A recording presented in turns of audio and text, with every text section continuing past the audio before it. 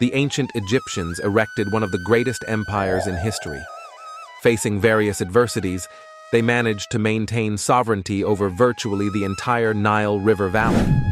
However, Africa, being a vast continent, harbored a variety of distinct peoples, some of whom aspired to conquer the fertile lands of Egypt. Kingdoms and tribes from Libya, Syria, and Turkey often clashed with Egypt. However, there was a people whose tenacity and courage even intimidated the powerful Egyptians, the Nubians. The Nubians, an ancient African people, inhabited the region of Nubia, present-day Sudan, for a long period, probably since 3100 before Common Era.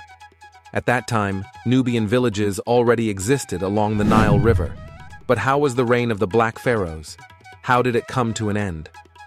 Before we delve into that, don't forget to subscribe to our channel and activate notifications to receive new episodes.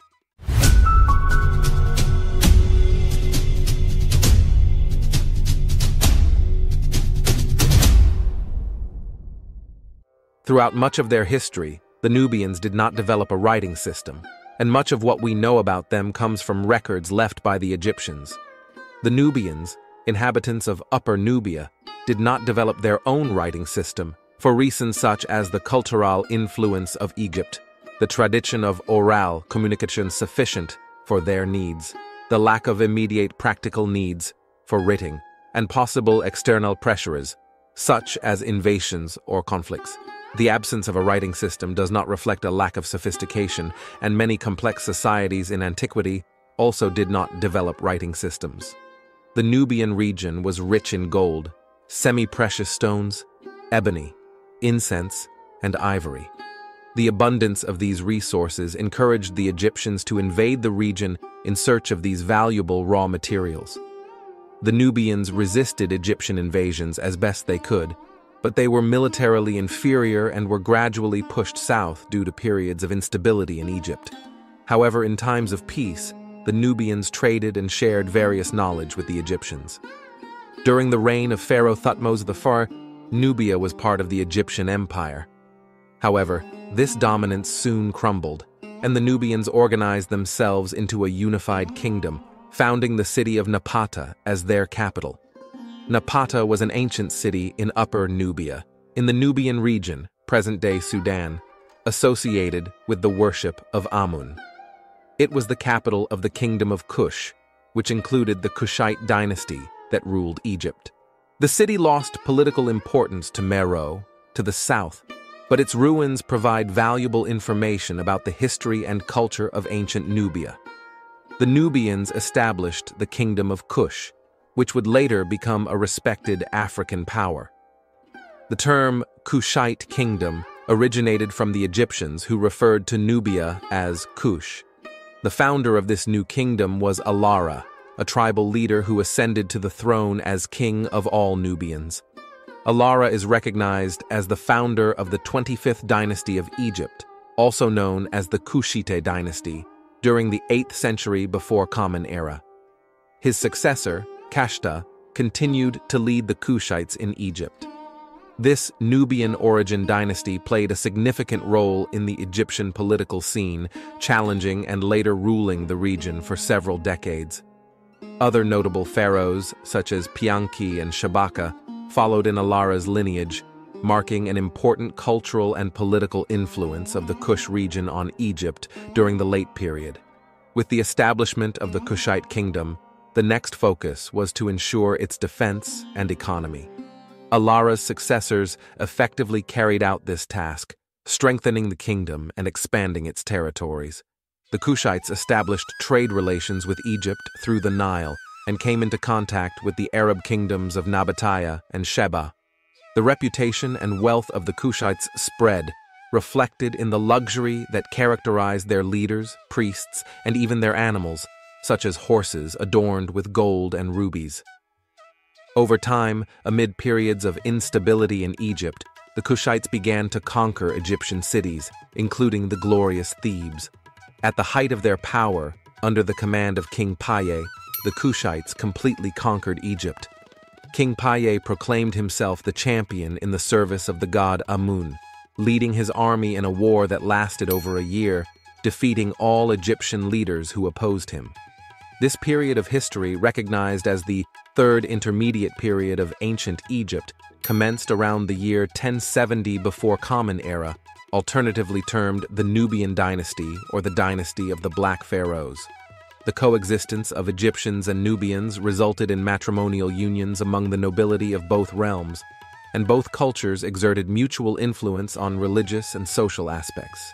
Upon establishing control over Egypt, King Piye returned to the city of Napata, the capital of the Kushite kingdom, leaving his brother and successor to govern Egypt and its cities. Kushite dominion over Egypt endured until 652 before Common Era its strength diminished primarily by Assyrian invasions that subjugated nearly the entire country. These invasions introduced heightened instability to Egyptian territories, given the formidable prowess of the Assyrians, who were militarily superior and proficient in technologies such as iron weaponry, armor, and a well-trained cavalry. The Kushite leaders were forced to retreat to the city of Napata. Sometime later, they established the city of Meroe further south, which became the new capital of the Kushite kingdom. The Kushite rulers began adopting Egyptian customs, such as the construction of pyramids for their burials. During this period, the Kushites developed their own form of writing, called Meroitic script. Meroitic script is a logographic syllabic system used in the Kingdom of Kush, especially during the Meroitic period. There are two main types, Meroitic hieroglyphic and Meroitic cursive. To this day, Meroitic writing remains largely undeciphered, challenging efforts to understand its exact meaning. It is found in inscriptions on monuments and tombs in the Meroe region of Sudan, providing clues about Meroitic society and culture, although its precise content is still unknown. According to the Greek historian Herodotus, the Kushite kings ruled until they received orders from the priests of the Golden Temple to commit suicide and transfer power. This peculiar custom persisted until the reign of Ergamenes, a leader who, unlike his compatriots, was instructed by Greek teachers and familiar with Greek philosophy. When Ergamenes received the order to commit suicide, he reacted with anger, sending his soldiers to the temple with orders to kill the priest, thus ending this terrible practice. Women played important roles in Kushite society, with an active voice in everyday matters. On several occasions, Kushite queens ruled alone, without male interference. Kushite women were reported to fight in battles and even lead troops. The king's mother held the title of Candace, meaning Queen Mother, acting as an advisor to both the king and queen. In some circumstances, she engaged in political negotiations and even took complete command.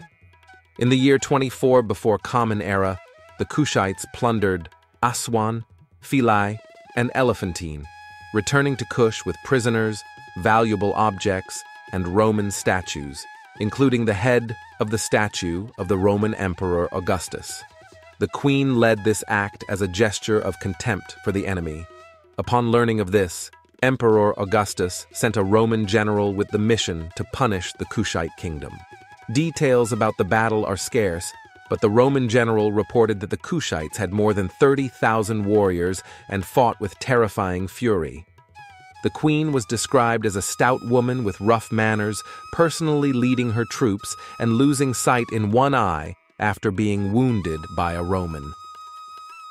After more than three years of fighting, the Romans finally sought a peace agreement in 20 before Common Era. A treaty was signed, in which the Roman emperor recognized the Kushite kingdom as an independent power, free from tribute to Rome. The Kushite kingdom endured until 350 Common Era, but faced weakening and dispersion due to resource scarcity and lack of trade. The once rich and proud Kushite kingdom was eventually dominated by the Aksum Empire, expanding its borders from the Ethiopian region. The Aksum Empire was an ancient civilization located in the Horn of Africa, mainly in Ethiopia and Eritrea, flourishing between the 4th and 7th centuries Common Era. Aksum was a crucial trading center, controlling routes between Africa, the Middle East, India, and the Mediterranean. the empire was one of the first to adopt Christianity as the official religion and developed a distinctive form of writing. Known for its obelisks, Axum influenced culture, religion, and trade in the region. Its decline, attributed to changes in trade routes and Arab invasions, marked the end of the empire, but its legacy endured in the kingdom of Ethiopia. The Kushites were a remarkable people, known for their bravery, skills as warriors, talented artisans, and prosperous traders. Their history reflects the resilience and strength of the African people in the face of the powerful Roman Empire. By looting cities like Aswan, Philae, and Elephantine, the Kushites challenged Roman forces, demonstrating not only courage in battle, but also artistic and commercial prowess. Kushite resistance resulted in the preservation of their independence, a rich and inspiring narrative highlighting the diversity and significant achievements of the African people.